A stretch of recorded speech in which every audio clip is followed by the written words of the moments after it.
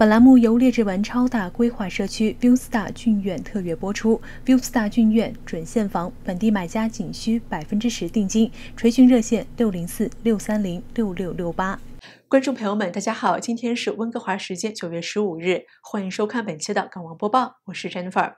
新冠疫情爆发之后，千千万万加拿大人受到很大影响。但加拿大联邦政府大把发放福利，特别是发放紧急救助金 （CERB） 等福利，让很多遭遇困难的家庭得以渡过难关。到九月二十七日，CERB 将全部转到 EI 等福利计划。一项最新研究显示，在政府将 CERB 转轨到 EI 计划之后，估计有近三百万加拿大人深受影响，日子可能不会太好过。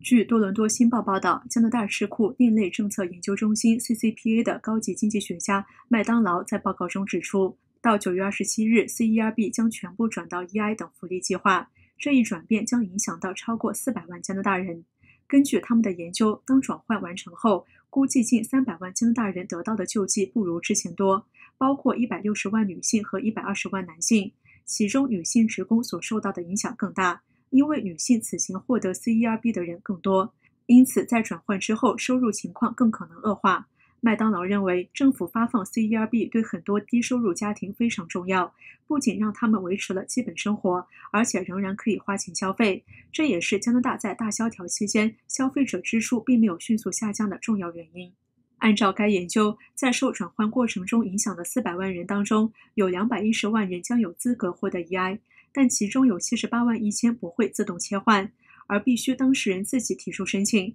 这部分人不是直接向加拿大服务部领钱，而是要向加拿大税局申请。但是从 CERB 转到 EI 的一百三十万人当中，他们每周获得的失业救助金将没有 CERB 的补贴高。此外，还有四十八万两千名以前领取 CERB 的人，既没有资格获得 EI，也无法获得新的临时恢复福利，比如加拿大复苏福利金 CRB。这些人主要包括临时工与合同工、护理人员以及因疫情休病假的职工。这些人当中，大多数是低薪工人，他们的月收入不足一千元。但从技术上讲，他们工作时间已经恢复到新冠大流行前的状态。麦当劳说，新的经济复苏计划包括 CRB 在内，目前仍然只是提交给国会的议案，要等到九月二十三日特鲁多的施政演说之后的四天之内才能予以通过。麦当劳认为，这些经济复苏计划以及 EI 福利计划仍存在改变的空间。他补充说，在九月二十七日之前，如果将 EI 的最低支付额提高到五百元，以匹配原来的 CERB，他不会感到惊讶。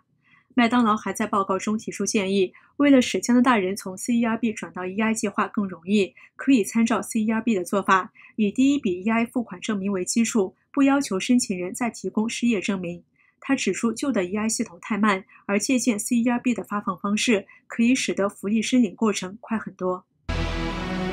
唐汉家族信贷基金百年传承。加拿大全国各地的新冠病例出现反弹。加拿大总理特鲁多近日敦促所有加拿大人提高警惕。特鲁多说：“没有任何人想要继续再一次进入封锁状态，而能避免出现这种情况的办法就是保持警惕。”九月十四日周一，加拿大全国宣布新增确诊病例一千三百五十一例。不过，这并不是真正一天内的新增确诊数，因为有些省份，如 BC 省、阿省，周末并没有公布新的数字，而是把三天的数字一起放上来，这样全国的数字在周一都会突然大增。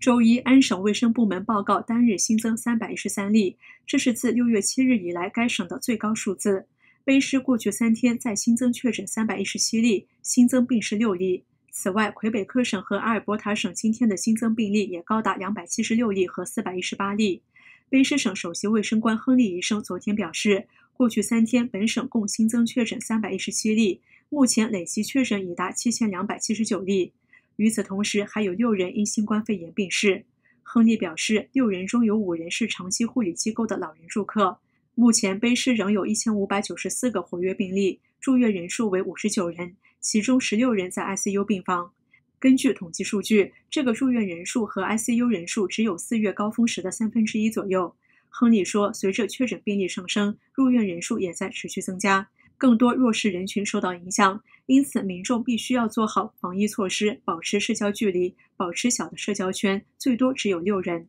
周末，苏里又有麦当劳餐厅和 Superstore 超市有员工中招。麦当劳公司的声明称，上周六九月十二日，位于八千五百八十六号一百二十 Street 的麦当劳有一名员工确诊，餐厅现在已暂时关闭。确诊员工最后一次上班时间为九月十日清晨五点至下午一点。餐厅目前正进行全面消毒，与患者有密切接触的员工都在居家隔离。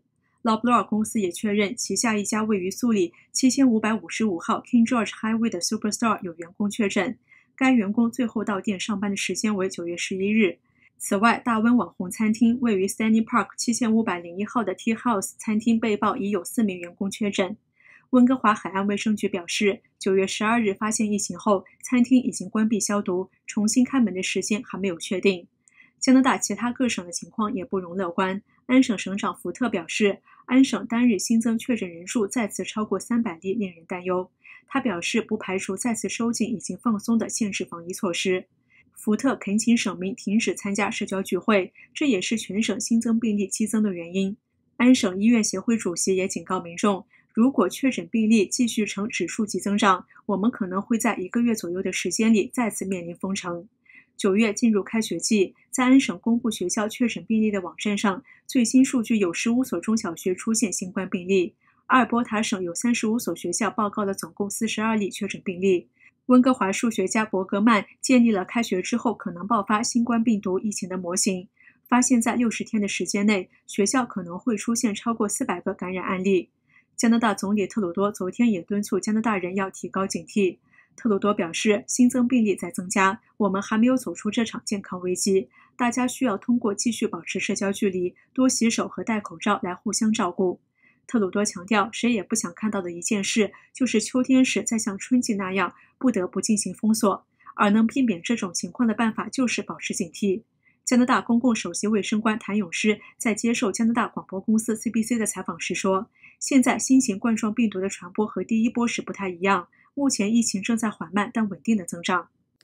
安省的医疗专家再次呼吁民众，今年每个人都要去注射流感疫苗，以防止本省的医疗保健系统在努力应对第二波新冠疫情、新冠肺炎患者可能暴增的情况下，再面临大量的流感病毒患者，因为那可能会导致医疗资源无法应对。又提醒生病的市民最好留在家里，不要到工作场所。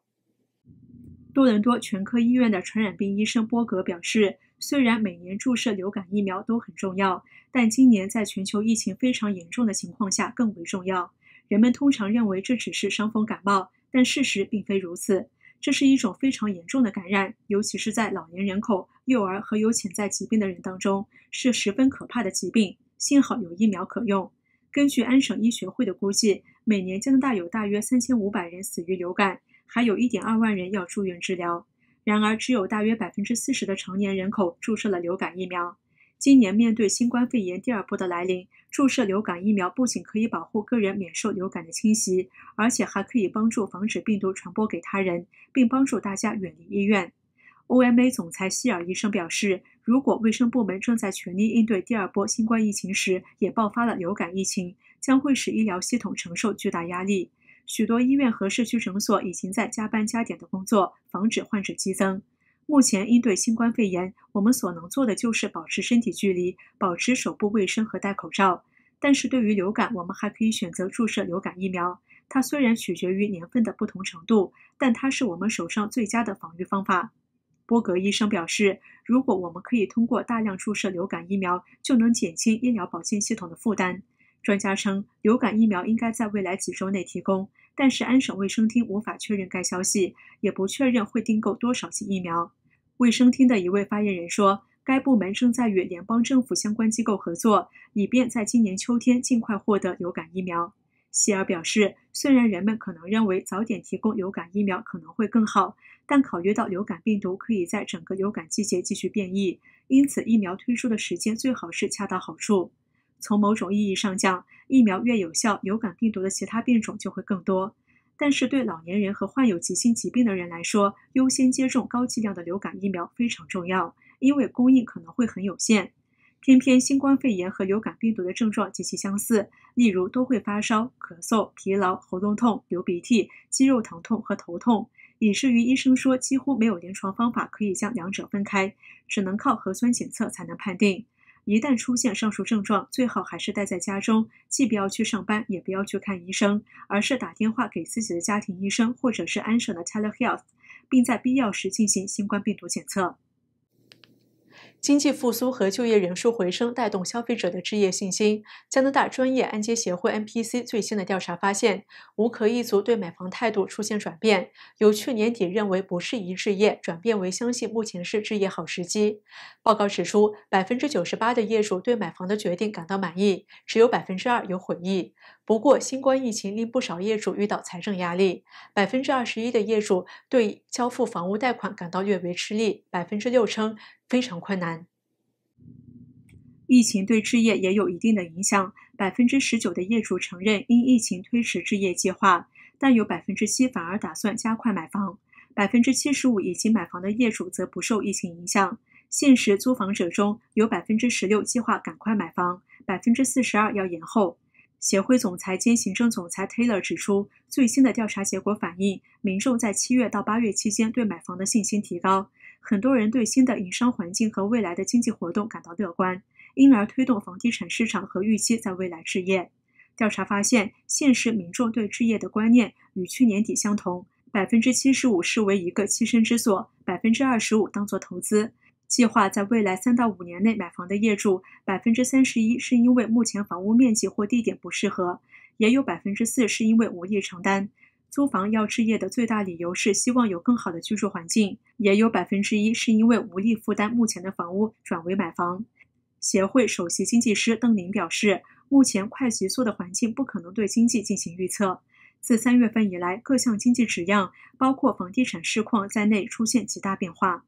以上就是本届港文播报的所有内容，感谢您的收看。如果您喜欢我们的节目，请点击屏幕右下方订阅我们的频道，同时也欢迎您点赞、转发、分享我们的视频。我们下期再见。